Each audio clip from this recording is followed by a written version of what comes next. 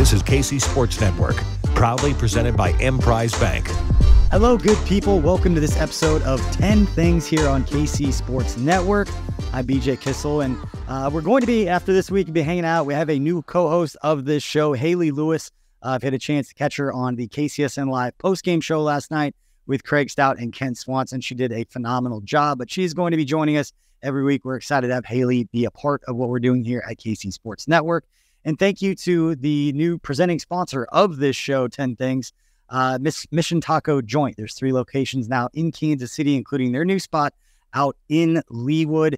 If you go in to any of the three Mission Taco locations in Kansas City on Tuesdays and mention KC Sports Network, you will get 10% off your bill. Tacos Tuesdays, they just seem to go together. And not only do we appreciate Mission Taco Joint for being the presenting sponsor of this show, they also have partnered with the KCSN Foundation to provide meals once a month to Oak Faith Ministries to continue the Feed It Forward program that we started a couple of years ago when we launched KC Sports Network. Huge thank you to Mission Taco Joint and the three locations in Kansas City for partnering with us to help feed the homeless population in Kansas City. We'll have more information on that if you want to support it. Uh, you can find the link in the description of the podcast and the YouTube video below to get you a link to the Givebutter page if you want to help support uh, our foundation and the different things that we do.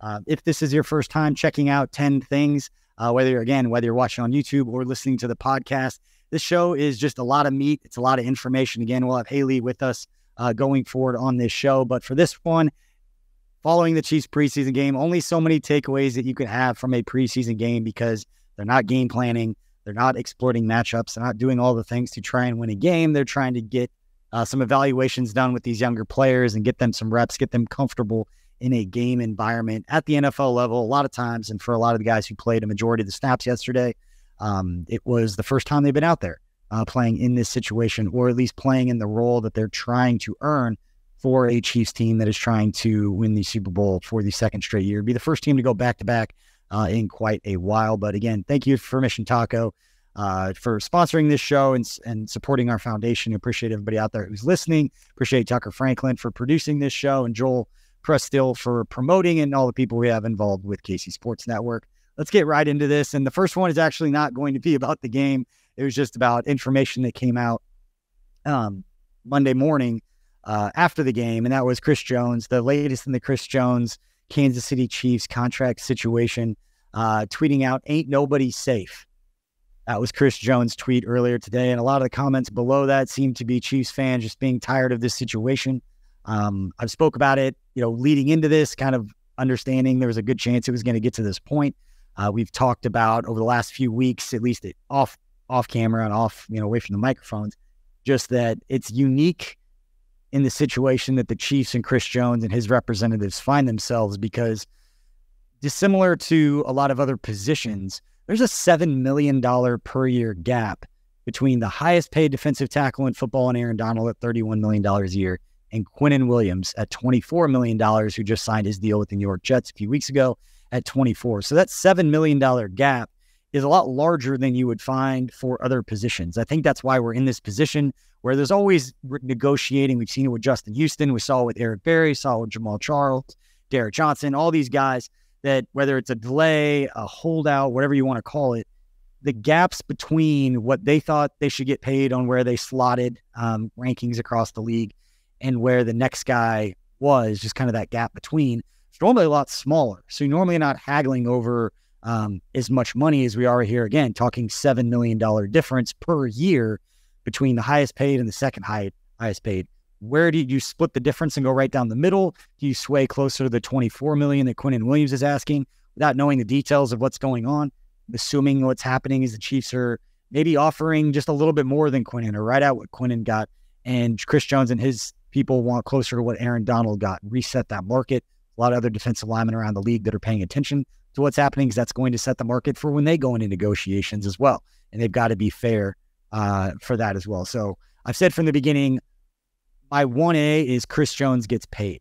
My 1B is that it's in Kansas City and he's a long term member of the Chiefs. As somebody who's been around him, somebody who empathizes with the players in these situations that they spend their entire lives preparing to try and be healthy and at their best in a moment where they've set themselves up to get paid, not just for themselves and not just for their immediate family, but their extended family, their grandkids, their great grandkids will be affected by what's happening right now and the deal that is struck.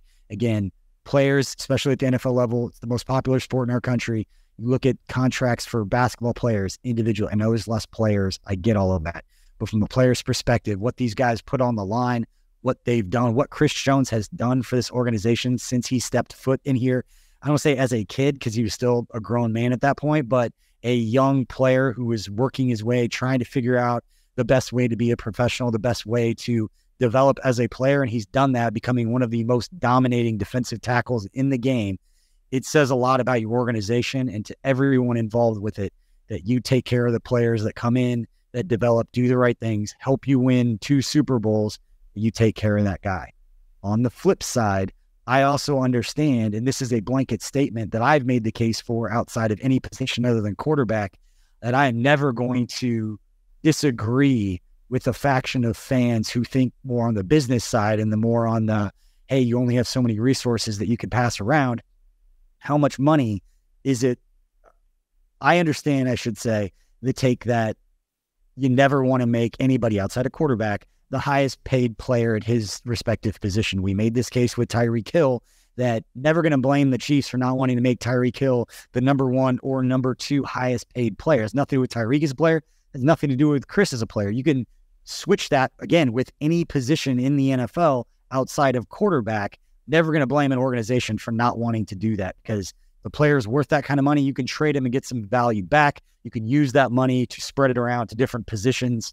There's a case that can always be made that the totality of what you can do with those resources, with draft picks in return and money on different players, that it can help your team. That being said, pay Chris what he wants. I want Chris Jones to get paid. I want him to be in Kansas City. I want him to retire a Kansas City Chief, or at least to be remembered as a Kansas City Chief when it's all said and done. He's been dominant here. He's earned the money. Go get it done. Hopefully, both sides can compromise, meet in the little, meet in the middle a little bit. We don't know where those things are at, but we do know based on over the last week what's been on social media that things aren't necessarily great at this point when things start getting leaked about Chiefs not wanting to make him the highest paid player in his position. That information is put out for a reason.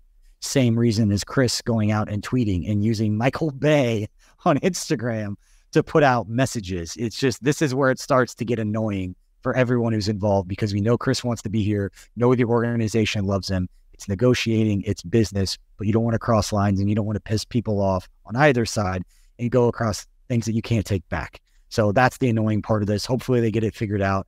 I've said before, I think he needs at least two weeks to get ready. So we've got about 10 days here that I, for me personally, think he needs to be there in order for him to be ready, healthy, and at his best or close to his best for that September 7th game, opening up the season against the Detroit Lions. I think he needs two weeks, which means we've got about 10 days to get Chris here. So that is the number one, it's the longest take or longest point that we've got uh, for this episode of 10 Things. Number two, uh, not a huge stake. He didn't play a lot, but Patrick Mahomes always going to be near the top when we do 10 things. The number two thing completed the two passes that he threw uh, for 15 yards, had the one scramble that I've already seen people say it was a clean pocket. Maybe he just wanted to get Maybe he just wanted that adrenaline going and to know what that felt like when he left the pocket. But Donovan Smith did a great job. Saw somebody draw attention to that on social media. But biggest thing, Patrick Mahomes, he got out there, got a little work in, didn't get didn't get hurt um, as the number one thing for everybody. I think we walked away with two injuries, um, Witherspoon and Nic Jones with the two injuries.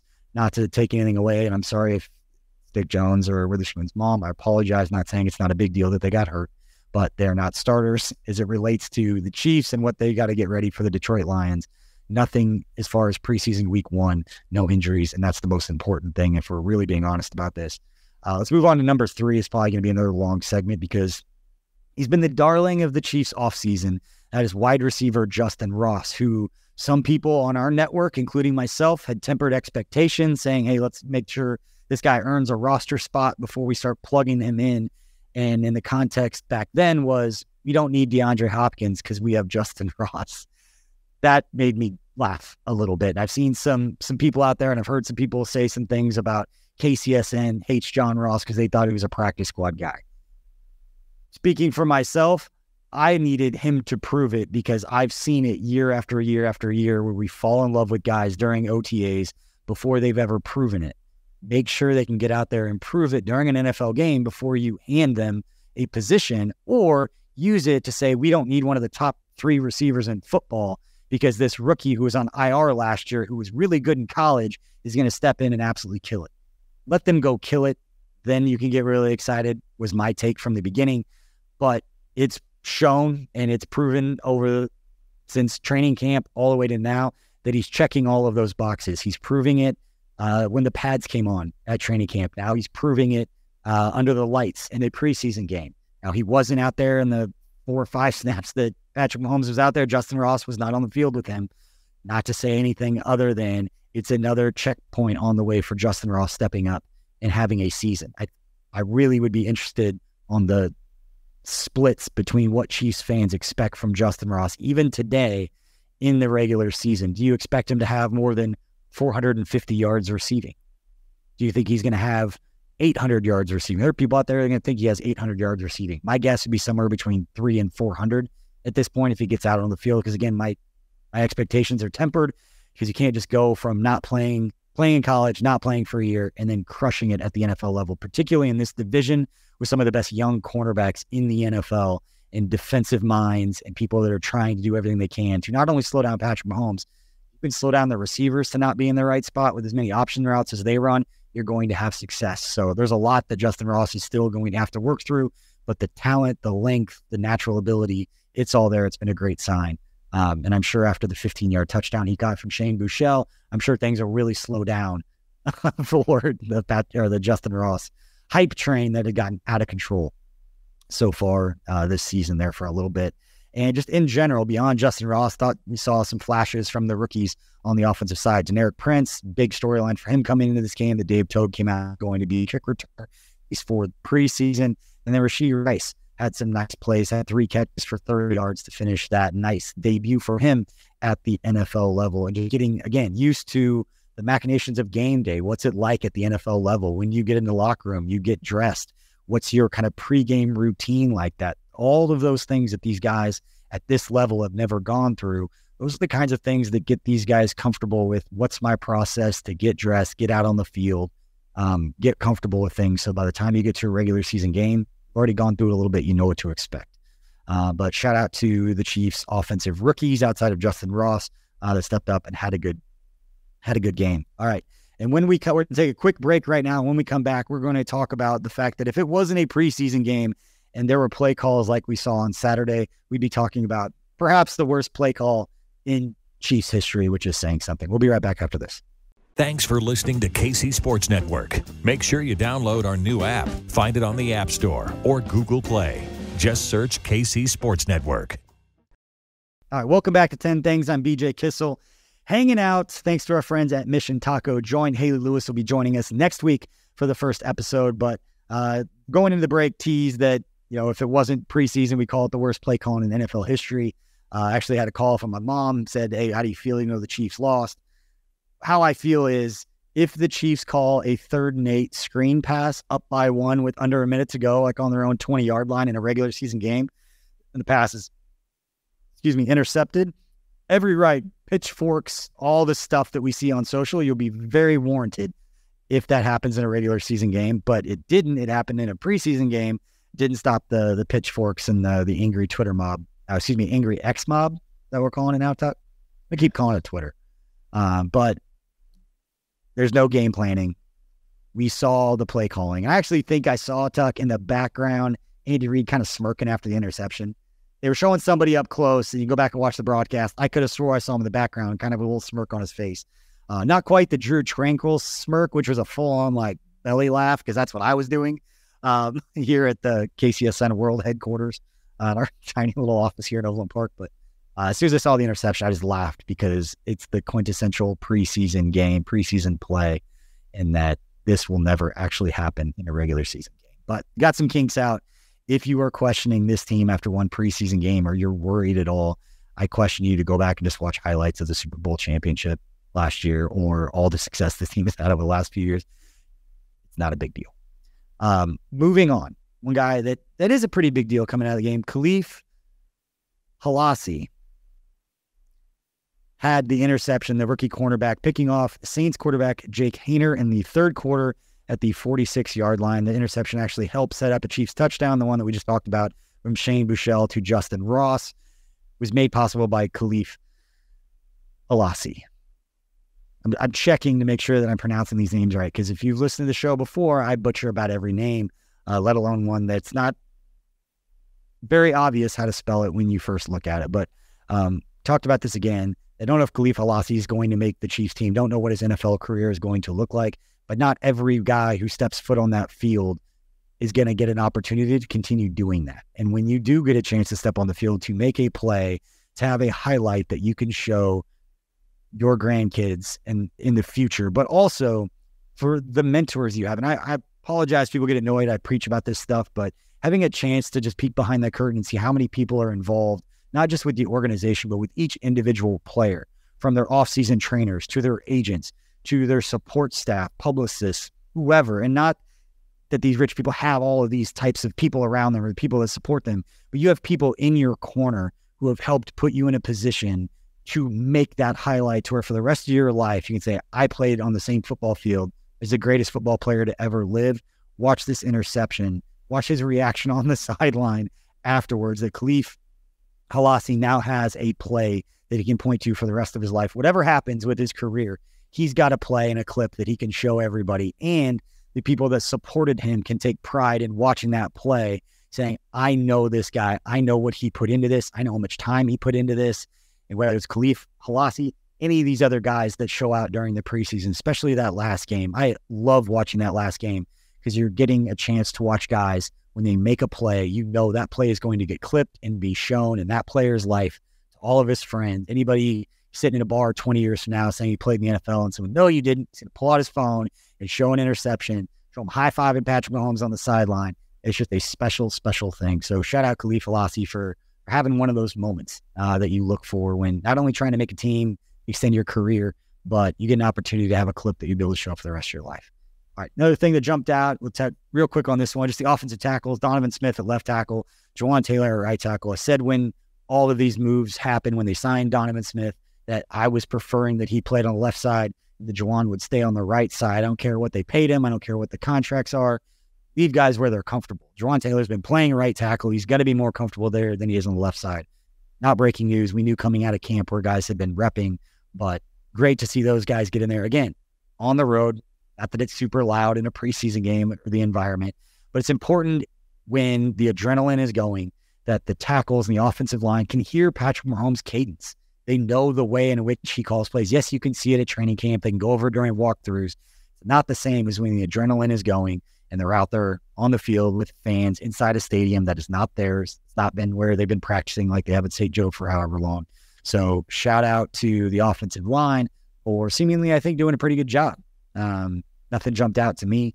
Um, but make sure you check out the KC Laboratory. It's going to go tonight, eight o'clock um, on Chiefs YouTube. You can catch the podcast afterwards. But those guys, Kent, Maddie, Craig, they'll break down everything. They'll really get into the details of what they saw uh, from a film standpoint and give you some really great takes. So make sure you check that out. Um, moving along on here on 10 things, another player that jumped out. Uh, maybe still I was keeping an eye on him, but Drue Tranquill, I thought was kind of all over the place. He played a lot of snaps uh, compared to a lot of the other guys, but I thought it was a great um, first showing for him. It was great, again, to see a linebacker out in space, running around, making plays in coverage, being right there. Uh, saw him make a couple of quick tackles on plays where he was out uh, and moved pretty well. And that was kind of what he was known for, uh, making plays behind the line of scrimmage, being an athletic player there on the second level to make plays. So he had a sack that he forced as uh, as he forced a third and long, an eventual punt back to the Chiefs. Uh, in that game. And then Tranquill completed the game with five tackles, three of which were solo, including the one tackle for loss on the sack, which resulted in a loss of eight yards. So shout out Drue Tranquill and shout out that they caught him laughing after the interception uh, at the very end of the game because that was kind of, I'm assuming a lot of people's reactions, uh, except Patrick Mahomes, who I think was uh, probably feeling for his guy. That that's got to be a pretty low feeling uh, to get that pass intercepted, knowing it's going to lead to ultimately a loss. That's what happened. Moving along, another uh, takeaway just because saw and kind of stood out. It's kind of hard to miss. Number big old number 71, Danny Shelton, uh, picking up a sack. Um, for a player with the pedigree that Danny Shelton did as a former first round pick, a guy who's played in a lot of big games throughout his career, uh, didn't make the impact with the Chiefs last year. He spent time on the practice squad, got a Super Bowl ring. Um, don't know what kind of uphill battle he's going to have to to make this team. Maybe he'll end up back on the practice squad. Uh, maybe get a chance with another team. But it's great to see guys go out there and make plays, and to see a big guy getting after the quarterback because it's not something Danny Shelton's necessarily known for. A lot of people are going to say, yes, nice to see him step up. Uh, Chris Jones isn't there. Again, fully expect Chris Jones to be there by the time week one rolls around. We already talked about that. Hopefully, he's got 10 days in my book, personally, for me, that I think he needs to be there in order to be ready for that week one game. But uh, we'll see what happens with Danny Shelton. Could be a player. If he doesn't end up on the Chiefs team, Danny Shelton is going to be one of the six best defensive linemen on the 30 plus teams across the NFL. He's going to earn a spot on one of those. Um, let's move on. We've got two more points we're going to make. We'll wrap this show up. Uh, Shane Buechele. Uh, thought he made some plays. I think the interception was a bad one. I think if he had to take that one back, he's going to learn you can't double clutch, throw sidearm across your body, across the field um, on a short route uh, and kind of a stick route, whatever you want to call that. Um, not a great play call or situation to kind of double clutch. And I know he had some guys around him doing some things, but that's just one of those learning experiences. You just don't make that play. But had a couple touchdowns. We talked about the one to Justyn Ross, and then the one to Kekoa Crawford uh, that was the highlight that we saw Patrick Mahomes just lose it on the sideline. Um, and that Shane Buechele, I would say looked a little like Patrick Mahomes, uh, just scrambling outside the pocket, making a couple moves. You expect him to keep running to the outside. Instead, he plants his right foot, cuts back to the inside, and then finds Crawford for the touchdown on the play that, again, talking about Shane Buechele, and granted, he was there last year. He has all kinds of cool memories of being in Super Bowl parades and all that. But on the field, that's one of those plays where Shane Buechele is going to be able to show and Kekoa Crawford. They're going to be connected forever if neither one of them make another big play that they had that moment in a preseason game. And then you immediately see Patrick Mahomes just loving uh, it for the guys that he grinds with every day. And that these guys are in meetings up at training camp. They're eating meals together. They are practicing together. They're going through walkthroughs together. They're walking around campus together. You guys spend a lot of time together. So it's pretty cool to see genuine moments where guys are rooting for their teammates and the guys that once the regular season starts, we don't want to see Shane Buechele on the field. No offense to Shane Buechele and his family. We want to see Patrick Mahomes out on the field, but it's pretty cool when he does get the opportunity that he goes out and makes a play, particularly when it kind of emulates uh, the, the, best player in football. So uh, we'll say uh, Buechele finished today 11 of 18 for 155 yards and the two touchdowns, but the one interception would have been a game winning interception, or excuse me, a game winning touchdown they threw at the end had it not been for the interception on the screen pass uh, that we won't talk about. Uh, my final thing, uh, we got some honorable mention, but my final thing for number 10 is shout out Matt McMullen, chief senior team reporter, just crushing it on the preseason broadcast. Obviously, Matt being one of my favorite people in the world, a phenomenal dude, Chiefs fans uh, and Chiefs Kingdom. We were lucky to have him being the the conduit between the coaches, the executives, and the players, and us as fans. Nobody's going to work harder. Nobody's going to do it with more integrity uh, than Matt McMullen. So shout out, love seeing him get his chance um, on the big screen with Kimmi Chex. Thought the whole broadcast crew, Ari Trent, um, Ryan and Andy in the truck, thought they all did a phen- phenomenal job putting out a great preseason broadcast, knowing that is an internal broadcast that the Chiefs are putting out. Um, with uh, a lot of other people getting reps for the regular season as well. So shout out Matt, Matt, Matt McMullen. I can't talk. Shout out Matt McMullen. Uh, keep doing your thing, man. And uh, a few honorable mentions. We wrap this one up. Blaine Gabbert, uh, his first action with the Chiefs just down I 70 from where he played in college at the University of Missouri. Shout out Mizzou. That's who. That one's for Tucker. Gabbert connected with three different receivers on the day, completing four of eight passes for 59 yards and a one yard touchdown pass to wide receiver Richie James, who was wide open, had to dive for it, throwing a little dig in there just to make Tucker happy. Did get the touchdown. And then Richie James, I thought there's another one that probably shouldn't be an honorable mention, uh, but I thought Richie James had a a nice performance. He had the 43 yard catch in the second quarter uh, from Blaine Gabbert, and there was three plays after that had the one yard touchdown on a nice little twister out, whatever it was, um, where he got open in the corner of the end zone. So great to see uh, Richie James and Blaine Gabbert um, have a little connection. But yeah, Richie James is one of those guys. Again, we spent a lot of time talking about Justyn Ross. James could be one of those guys who slides in there and maybe has 500 yards receiving, 600 yards receiving at the end of the year, but they could end up being really big moments in which he makes those catches. I made that point with Justin Watson last year that you look at his box score, you look at his stats at the end of the year, not a ton, but if you go back through that stretch where the Chiefs were winning games, they should have been winning by more uh, so like the Denver games and some of those, Justin Watson was catching some key third and eights late when the game is close and either going in to, to put the game away or you're trying to to take the lead late in the game or you're kind of nervous because you feel like you should be winning, but now you're thinking, hey, are we going to drop this? Is Indy all over again? Is this one of those games we're going to drop? Those are the times where a third and four, they go to Richie James and he makes the play. Those games and those plays are just as important as anything else. Getting him in a position to be confident and for Mahomes to be confident enough in him to go to him in those situations is what this preseason is going to be about. Going and doing it against somebody else and not your teammates that you've been doing it up against camp. So shout out Richie James uh, for uh, I thought it was a great performance and one of the top takeaways personally that I would have from this game. So it shouldn't be an honorable mention. We're to call it 11 things. We call it 11 things, Tuck. All right. Last two, Chamarri Conner, uh, the versatile defensive back that we talked about coming into or coming out of the draft. He was a guy that play slot, play in the box. You could play in deep. You could move around, do different things with him. You could blitz him. Just one of those Swiss Army knives that Steve Spagnuolo's had. We've seen a few of those guys over the years in Kansas City. Started with Husain Abdullah seemed like be one of the first guys that could play a little bit everywhere, do a lot of different things for you. Obviously, Tyrann Mathieu did that um, just a few years ago. It's putting a lot on Chamarri Conner, but as far as usage and creativity and different things you can do with him, he's one of those players that you saw obviously with the flash blitzing um, as DB in a preseason game, but they're gonna have some fun stuff for him, um, I believe. So he'll be a fun player to watch and uh, great debut for him. And then uh, Nico Remigio, I got that one right. Our producer Tucker is nodding. Um, big game for him. Four receptions for 71 yards. This player that stood out during training camp so far. You've seen 27 have a little juice. Um, it's got a little bit more speed, a little bit more burst um, than you would normally see for a player that is honestly fighting to make a practice squad spot at this point. Um, but four catches for 71 yards, including converting three third downs with catches of 19, 22, and 24 yards. Exactly what a player like Nico Remigio, almost had it.